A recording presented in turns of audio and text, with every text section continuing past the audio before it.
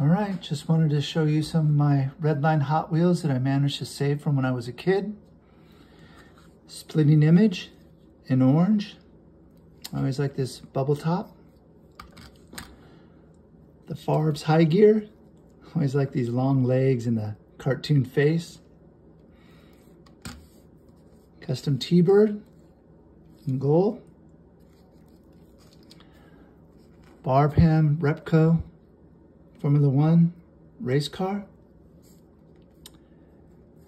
One of my favorites, a heavy Chevy, based on a 1968 Camaro.